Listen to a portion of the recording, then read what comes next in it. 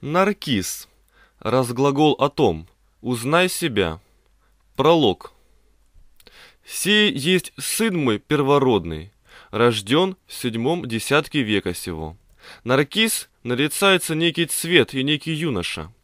Наркиз, юноша, в зерцале прозрачных вод, при источнике, взирающий сам на себя и влюбившийся смертно в самого себя.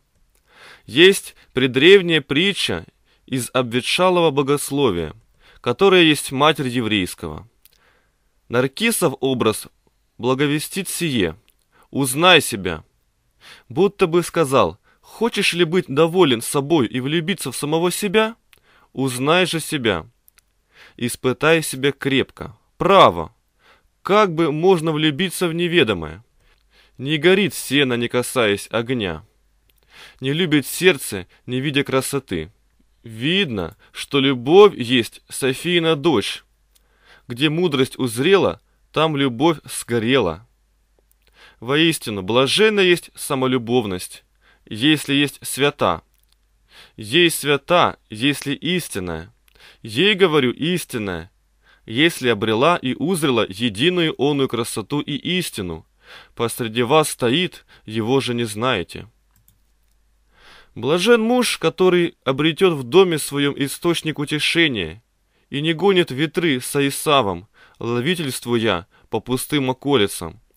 Дочь Саулова Милхола из отчего дома, сквозь окно рассыпающей по улицам взоры свои, есть мать и царица всех шатающихся по окольным пустыням во след беспутного того волокиты, кого, как буйную скотину встретив, загонит в дом пастырь наш. Куда тебя бес гонит? Возвратись в дом твой. Сей суть наркисы буйные. А мой мудрый наркис амурится дома, по Соломоновой притче. Разума праведник себе друг будет. Кто где прозрел в водах своей тлени красоту свою, тот не во внешность какую-либо, не во тление своего воду, но в самого себя и в самую свою точку влюбится пути твои посреди тебя успокоишь. Наркис мой, правда, что жжется, разжигаясь углеем любви, ревнуя, рвется, мечется и мучится, ласкосердствует, печется и молвит всеми молвами. А не о многом же, не о пустом чем-либо, но о себе, про себя и в себе. Печется о едином себе. Едино есть ему на потребу. Наконец, весь как лед, истаяв от самолюбовного пламени, преображается в источник. Право, право! Во что кто влюбился, в то преобразился. Всяк есть то, чье сердце в нем, всяк есть там, где сердцем сам. О, милая моя милость, Наркис! Ныне из ползущего червища восстал пернатым мотыльком. Ныне се воскрес — Почему не преобразился ручей или в поток? По что не в реку или море? Скажи мне, отвечает Наркис, не вредите мне, ибо доброе дело сотворил я. Море из рек, реки из потоков, потоки из ручьев, ручьи из пара, а пар всегда при источнике, сущая сила, и чад его, дух его и сердце. Все, что люблю. Люблю источник и главу, родник и начало, вечные струи, источающие из пара сердца своего. Море есть гной. Реки проходят, потоки высыхают, ручьи исчезают, источник вечно паром дышит, оживляющим и прохлаждающим. Источник едино люблю и исчезаю. Прочее все для меня стечь, сечь, подножие, сень, хвост. О сердце морское, чистая бездна, источник святой. Тебя единого люблю, исчезаю в тебе и преображаюся. Слышите ли? Все, что воспевает орли птенец, орлиной матери фиваистской премудрости. Лицемеры и суеверы, слыша сие, соблазняются и хулят. Во источник преобразится. Как могут сии быть? Не ропщите. Вельми легко верующему. Яснее скажу, узнавшему в себе красоту оную. Пара есть сила Божия и излияние Вседержителя славы чистая. Лучше, где было ему преобразиться во злато, или во драгоценный камень, или постойте. Он самое лучшее нашел. Он преобразуется во владыку всех тварей, в солнце. Ба! Разве солнце и источник есть тоже? Ей! Солнце есть источник света. Источник водный источает струи вод, наповая, прохлаждая, омывая грязь. Огненный же источник источает лучи света, просвещая, согревая, омывая мрак. Источник водный, водному морю начало. Солнце есть глава огненному морю. Но как где могут сии быть, дабы человек преобразился в солнце? Если сие невозможно, как ибо гласит истина, вы есть свет миру, то есть солнце. О лицемера, не по лицу судите, но по сердцу. Ей, солнце есть источник. Как же не и человек Божий солнцем? Солнце не по лицу, но по источничей силе есть источник. Так и человек Божий, источающий животворящие струи и лучи божества, и спущающий. Есть солнце не по солнечному лицу, но по сердцу.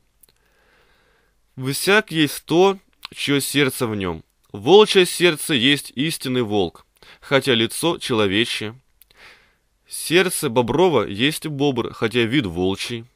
Сердце вепрева есть вепрь, хотя вид бобров. Всяк есть то, чье сердце в нем. Но лицемеры бодают рогами упорно. Да будет действие так здраво. Однако где человеку преобразиться в лицо солнцева отнюдь невозможно. Лицо, где и сердце разнь. Право, право судите, и я сужу. Отнюдь невозможно, да и какая польза? Вид бобров не творит волка бобром. О глухие лицелюбцы, внемлите грома сему, плоть ничтоже, дух животворит. Всего ли не знаете, что вид, лицо, плоть, идол есть то же и ничтоже? Не знаете ли, что в Мирсе есть идол поля Диирского? Солнце же истукану сему есть лицо, его и золотая глава его, и все суя та сует. Даниил не кланяется, а Наркис не любит его. Мир есть улица Мелхолина, блудница Вавилонская, бесноватое море, а Даниил и Наркис в горящих сих адских водах узрели любезную свою милость. Какую? Росоносный источник и истое солнце, как написано, пока светит день, то есть солнце. Где почиваешь? Яви мне вид свой, о благая мудрость есть человеку, паче же видящим солнце, благодарение ибо блаженному Богу. Сия есть неизреченная его милость и власть, сотворившая бесполезное невозможным, возможное полезным. Ныне мой наркиз преобразится в истое, не в пустое солнце. Вопрос лицемеров. Что се? Так ли в солнце едином два будут солнца? Ответ – а где же ваши уши тогда, когда громчайшую трубою небеса проповедуют? В солнце положил селение свое. Видите, что во золотой главе кумира вашего, мира сего, и в Вавилонской сей печи обитает и субботствует свет наш незаходимый. И не ваше мрачное, но наше солнце прославляется следующей трубной песней. Источник исходит и напоит всех. Но оставим. Да лицемеры мучаются в огненном своем озере. Сами же с Израилем да придем на ту сторону моря по совету Варухову. Кто перейдет на ту сторону моря и обретет премудрость.